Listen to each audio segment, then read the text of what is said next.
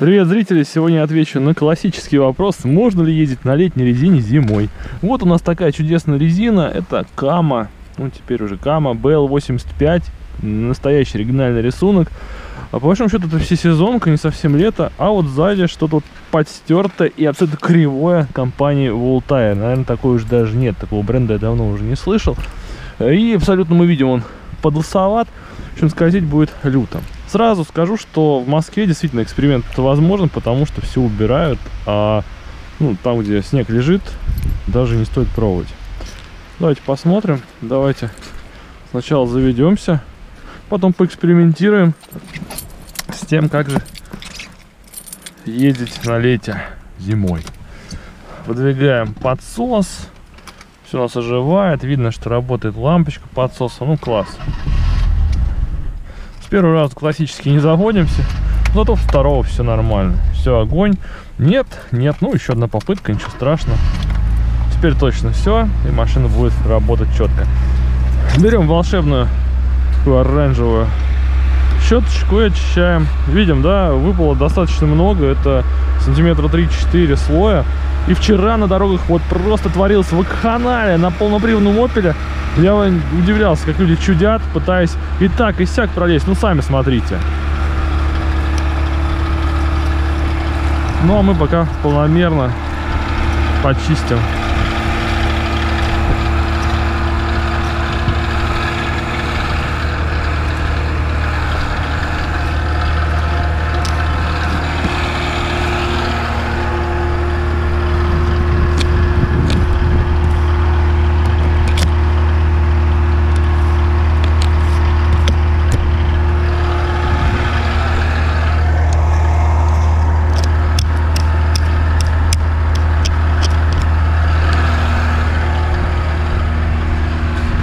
Многие начнут сейчас напрягаться. Что такие высокие обороты прогрева? Ну, давайте поменьше сделаем. Так вот. Полторы тысячи. Отличные прогревы. Ну, тут же Супротек уже залит. Раз Супротек, все. Теперь двигателю век можно доверять, что называется. Хотя, скажу сразу, никому этот Супротек не нужен. Все развод. Супер состояние. Я тоже думаю заливать в бутылки какой-нибудь назвать его Z-Tech и будет, будет он у меня супер популярный так что покупайте Z-Tech волшебную смесь M8 и частиц металла какого-нибудь там да? Главное пожестче металл какой-нибудь потверже. Лучше алмазную крошку чтобы сразу было видно мощность по сизому дыму. Так отряхли здесь. Крышу не буду отряхать.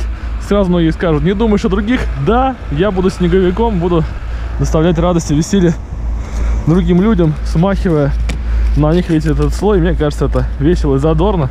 Добавим жизни в этом мире скучном. Вот так вот. Ну и что, поехали, поехали. Кто-то прогревает мотор бесконечно. Я ни на какой машине бесконечно мотор не прогреваю. Это бессмысленно, он все равно металлический. И что так изнашивается, что так изнашивается. Думаю, что на моей практике не было такого, что какого-то там прогрева двигатель проработал меньше, чем нужно. Что, поехали. Поехали. Главная проблема, мы видим, да, все почистили дворники, и можно спокойно заезжать. Вот главная проблема зимой, да? Невозможно атаковать поребрик, по большому счету, или бордюр. То есть на зимней резине мы сейчас заехали. На летней эта задача просто уже превращается в шоу. Особенно заднюю ось может вести. Ну, не делай это. Включаем печечку. И поехали. Старый предыдущий хозяин так сэкономил. Поставил один нормальный дворник, другой совершенно непонятный. Но вот человек вместо того, чтобы повернуть налево, повернул куда-то не туда. Куда не в карман, а так. И все. А так, видим, подтаяло. И вот если было такое покрытие, конечно, сейчас будем выезжать в кашу. Как это делать, понятия не имею, если честно. Поехали. Газуем. Никаких помощников, ничего. Адреналин даже на скорости 10 км в час. Ну, 20. Очень весело и задорно. Кому нужно веселье, пожалуйста. Ну, на мой взгляд, это веселье, честно сказать, классно на каком-нибудь закрытом полигоне, да, а не постоянный дрифт э, в реальных каких-то условиях. Он, конечно, в реальных каких-то моментах ну, не лучшее решение, будем говорить прямо. Особенно тормоза, все это в каше плывет, ну, честно сказать, эти экстренные ситуации просто не отрулишь. Ну, а так, плавно, медленно, можно вполне ехать. Что, конечно, удивительно. Потихонечку опускаем подсос обеспечивая стабильную работу двигателя. Поехали. Вот сразу ведет. Вот видите, да, действительно, прямо, можно сказать, шоу на колесах. Ничего не надо. Классика, задний привод. И вот веселье, веселье, бесконечное веселье.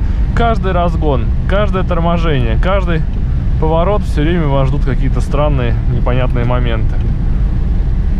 Ну, на то она и классика, да. Машина, которая, по сути, представляет собой даже уже не кроссовер, наверное, внедорожник. Ну, правда, единственное, что не хватает несколько дорожного просвета, это нужно думать. Хотя есть Нива, в принципе.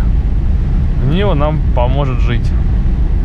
А зачем нужна классика? Ну, видимо, поэтому производство и свернули. Хотя, честно сказать, был классный ответ бюджетному индийскому автомобилю. Ну, действительно, вот все решения настолько уже проверены временем, так долго выпускается, что вся экономическая эта прибавочная стоимость, ради которой все там работают, производители, еще кто-то, она э, уже отбилась, и можно было беспредельно дешево, даже без маржи машину выпускать, но обеспечить всех средствами передвижения. Да, не современными, да, абсолютно небезопасными, но дарующими, во-первых, условный кайф, ну, я, честно сказать, очень задний привод не люблю, э, по одной простой причине, да, он э, медленный. Он медленный, он быстро только летом, когда хороший зацеп и на треке. Тогда он быстрый. Все остальное, любая поверхность, которая уже э, не с таким коэффициентом, как асфальт, да, то есть твердая, какой-нибудь там грунтовая дорога, и уж дальше там, да, снежная, уже не говорю, все. Задний привод настолько сливает, это словами не передать. Ну да, многие говорят, ух, я чувствую себя крутым водилой, я еду как бог, я не, не повторим просто, посмотрите, как я умею. Но кому это умение нужно, если другой человек, вот, например, на любой там машине, даже на каком-нибудь Дастере, спокойно едет дальше. Даже он вчера патри... на Патриоте какой-то э, странный товарищ решил, что он бог оффроуда, не оффроуда даже уже, а бог дороги, потому что все тошнят, все боятся. Кстати, интересно, какой экземпляр, а, как это интересно, религия называется, когда колеса вывернуты просто непонятно куда, непонятно. Вот. А так, кстати, да, мы же про, про зиму говорим. Вот сейчас вот мы на, кас, на каше на это едем, да, на слое. И нормально на лете едем, пробиваемся вперед аккуратненько. Вот так вот поворачиваем. Так что, видите, тошнящую, тошнящую классику, возможно, она именно на летней резине пробивается вперед по вот такому покрытию. Как видим, можно смело ездить. Ну, относительно, конечно.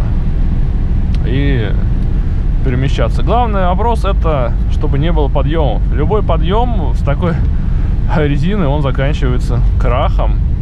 И даже не знаю, проходимостью классики просто беда. Э, буду ставить сюда самоблок обязательно. Притормаживаем, смотрим по сторонам. Почему ничего не видно, кстати? Запотели как-то, мы посильнее шум. Но будет очень шумно. Трамвай мы пропустим, уж очень быстро он продвигается. Смотрите, какая туша, 20 тонн нанесется. Думаю, ничего над нас не оставит. Хотя вот крюки перестали у трамваев делать. Ладно, поехали. Дальше будем выезжать. Выезжаем на перекресток. Так. Ничего не вижу вообще. Как можно так жить? Классик, классика. Кстати, понятно, да? Почему сделали ВАЗ-2105, 07 с боковым дефлектором? Потому что ни черта не видно. Нужно, чтобы полностью машина прогрелась. Тогда она, печка очень мощная, как раз ее хватает для всех этих целей. В классике вот именно 2106, а это самая классичная. Классичная только, наверное, 2101 э, но она уж слишком старая и не особо интересно. Здесь хотя бы спортивные приборы у нас, это очень классно. Почему, кстати, не поменяли, не э, стали ставить от той же семерки сюда бороду? Не знаю, потому что, в принципе, не так уж и было бы это дискомфорт. Ну или от той же, кстати, вот э, пятерки можно было ставить просто вместо в эту кругляша без тахометра, ставить тот самый тахометр и добавить каких-то этих э, приборов. Вот честно сказать, был бы я э, условным дизайнером интерьеров, я бы сказал, ребят, отличное есть решение, мы делаем классический интерьер, он никак не будет загромонировать, и продолжать выпускать эту модель. Зачем это вот огромное обилие автомобилей, по сути, одинаковых, за разную стоимость там, ну, не знаю, честно сказать. Все время этим вопросом задаюсь и буду задаваться. Видим, сзади ничего у нас не подогревается, даже кнопки подогрева нет, хотя Я точно знаю, что на классику на шестерку ставили подогрев сзади. Но у нас модификация чистая, 21060. Кстати, мы уже нагрелись, можно вырубать нам подсосик, обогащение смеси теперь нормальное, свечки мы не коптим. Видим, кстати, кто-то скажет, машина долго прогревается, но на самом деле врет датчик э, температуры, включается вентилятор достаточно где-то на отметке, наверное, условной 80, то есть до 90 даже не доходит. Уже включается аккумуля... этот вентилятор. Хотя многие скажут, меняй термостат, плохо машина у тебя греется. Ну да, кстати, вот давайте попробуем стартануть. Видим, по этой даже грязи на летней резине. Ну, считайте, у нас сейчас э, дождик. Поехали. Ох, как надсадно двигатель-то работает. Тяги, конечно, тут не хватает вообще. Вообще не хватает. Хотя, видимо, мы всех обогнали. И для современных, даже городских условий, ну, классика может ездить в городе. Конечно, если разогнаться до какой-то трассовой скорости, это будет уже, ну, не айс совсем. Потому как, э, ну, тяги уже там явно не хватает, аэродинамики нет, и ничто, что не поможет абсолютно. А вот так вот в городе, пожалуйста. Кстати, странно, что в свое время не сделали хэтчбэк. Если, например, отрезать попу, то машина будет в длину 3-4 метра. А это прям уже класс даже А, считайте, Матис. То есть в целом можно было на базе тоже четверки сделать хэтч короткий. Смотрелся бы забавно, такая достаточно большая спереди часть от мордочки и купированный хвост. Но почему-то не сделали. Видимо, Fiat не сделал, а у наших партия не велела. А потом вообще с этим десятым каким-то семейством бредовым, который, по сути, кстати, десятка, это и есть та же самая восьмерка. Ну, да, кузов поменяли, но в основе своей это та же самая восьмерка. И, то есть вообще машины все очень были похожи. Тоже вот Гранту несчастно. Ну, не знаю, вот все, что касается развития до Веста ВАЗовского, начиная с восьмерки до Веста, это черная труба э, с одинаковыми машинами абсолютно, э, с, э, с теми же самыми ощущениями вождения, ну, просто меняют немного кузов. Зачем его менять, зачем тратить на это деньги, я не знаю. Если честно, мне это непонятно. Поехали дальше.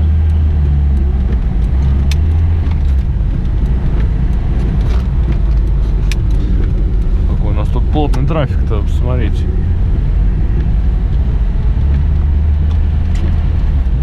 Ну, видим, да, все подтаяло, все убрали, так что в Москве можно легко ездить на летней резине, ответ очевиден, да, вот, ну, чуть более надо быть аккуратным, ну и зимой, ночью, когда еще не успевают работники, вот, как раз мы их видим, а, убирать все эти а, разнообразные снежные катавасии, там да, там да, то есть, ну, тут безусловно. А так, днем вообще можно резину не менять. Я уже давно это понял. В Москве точно. Бюджет осваивают хорошо. Вовремя все приходят. Ну, сам Бог велел. Вот, пожалуйста, трактор.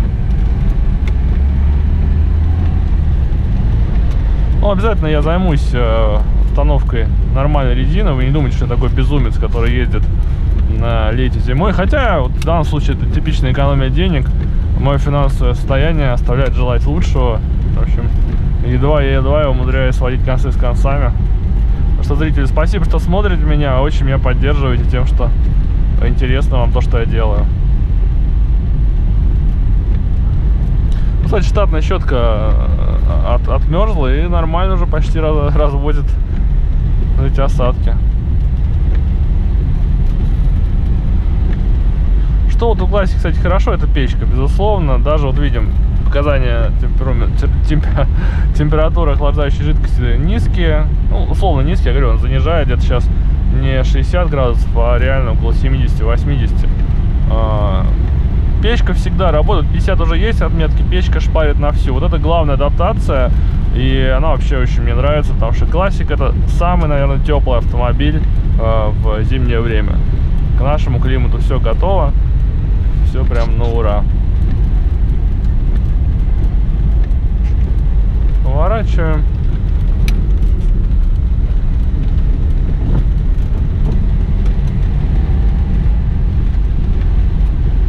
Видим, если аккуратно дозировать педаль э, и не придавливать ее, совершенно ни сносов, ни заносов, ровным счетом ничего. Ну и, в общем, приехали мы месту, куда я ехал. Вот оно самое интересное, да, здесь кашка. Давайте посмотрим, что будет по кашке-то. И даже по кашке вот мы едем, по кашке едем, вообще класс, огонь.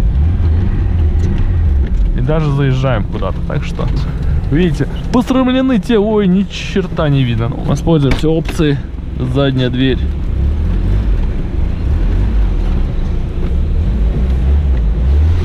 О, застряли.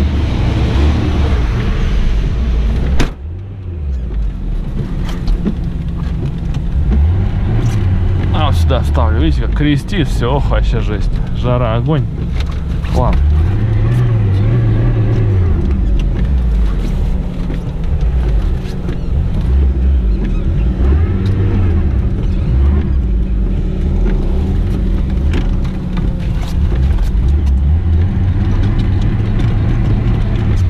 Ну вот.